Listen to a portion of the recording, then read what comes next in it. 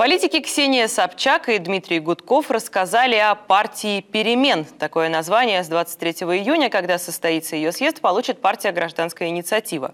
Сегодня Собчак и Гудков сообщили о своих краткосрочных и долгосрочных планах. Давайте послушаем.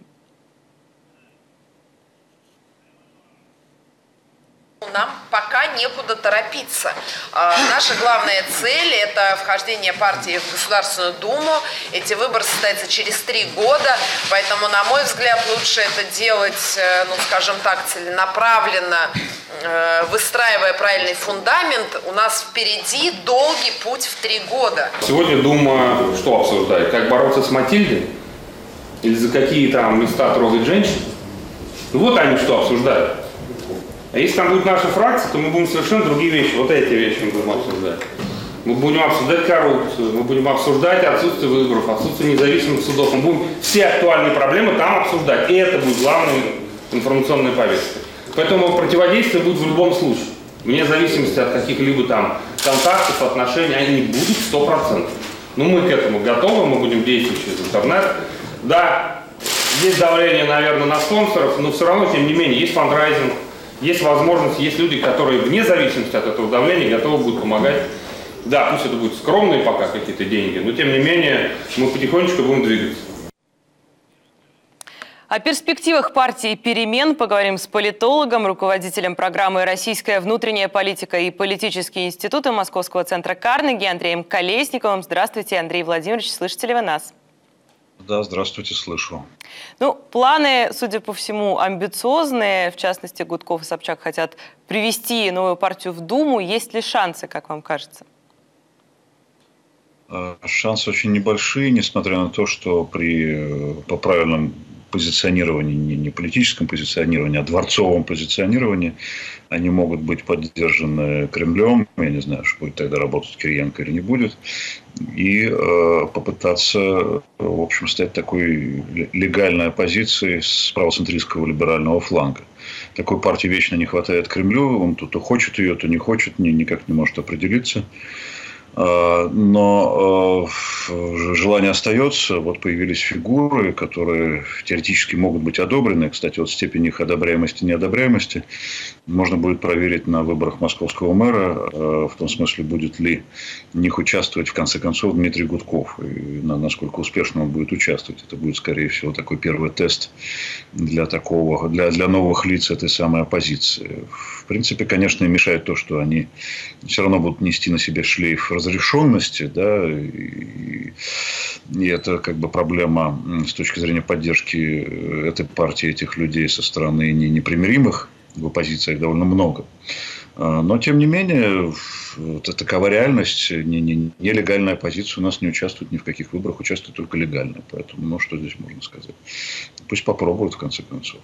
Здесь ведь еще молодец Андрей Алексеевич Нечаев, который несколько лет назад создал эту партию гражданской инициативы. Все значит, спрашивали у него, зачем она, собственно, нужна. А вот... Э, вот и пригодилось. Вот он был прозорлив, да. Он создал инфраструктуру для других людей. Это, это большой ум. Андрей Владимирович, ну вы довольно много говорите про Кремль и про решение Кремля в контексте э, дальнейшей судьбы этой партии. Что, то есть, получается, все зависит от воли Кремля исключительно? Ну, во многом, да. Вот само прохождение в легальном поле этой партии невозможно без того, чтобы кто-то в администрации не помогал э, проходить это минное поле и не, не одобрял это прохождение. Ну, а как иначе? Иначе просто выбросит из, под любым поводом абсолютно сейчас. Это совершенно не проблема в авторитарном режиме выбросить любую партию из легального поля. Да? Э, поэтому очень тяжелая задача. Это просто объективно тяжело. Там можно плохо относиться к Собчак и Гудкову, хорошо относиться. Это просто объективно тяжелая задача. Остаться в этом поле, обойти все мины и пробежать между струй. Э, как когда-то говорили про Анастаса Микояна. Э, нелегко. Еще неизвестно, что будет в будущем году, там, через два года. Вот непростая у них задача, объективно непростая. Вы сами упомянули уже не самое лучшее, скажем так, отношение к Ксении Собчак. Рейтинг ведь был ее очень низок, когда были президентские выборы. Вот э, учитывая эти обстоятельства, есть ли у нее шансы восстановить репутацию и поднять рейтинг? Есть, политическая работа, очень серьезная, да, очень тяжелая, потому что у нее большой антирейтинг, потому что непримиримая оппозиция считает ее рукой Кремля. Ну а теперь еще и на Дмитрия Гудкова, соответственно, это проецируется. Да, на него проецируется уже некоторое время тому назад начало проецироваться, вот эти вот все скандалы и споры с Яшиным, и Навальный подключается. А, тень отбрасывается, да, но иногда избиратели, в общем, все равно что там происходит между лидерами оппозиции, лишь бы была возможность высказаться методом голосования. Все-таки среди либеральных и демократических избирателей есть те, которые готовы приходить э, к урнам.